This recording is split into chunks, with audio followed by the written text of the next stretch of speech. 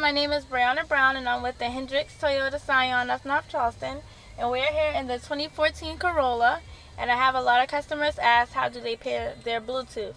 So today I'm going to show you how to pair your Bluetooth to your 2014 Corolla.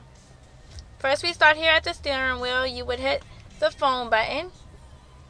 Then you would move over to your dash and it'll say there are no phones paired. Would you like to add a new one? You would click yes. You would go over to your Android. Turn on your Bluetooth. And here it would come up Toyota Corolla. You would click there and it should connect. Then you would click OK. OK once more on your phone. OK on here and your Bluetooth is connected successfully. If you have any other questions about how to connect your Bluetooth or anything else regarding the 2014 Corolla, please feel free to give us a call at 797-8000 and ask for Brianna.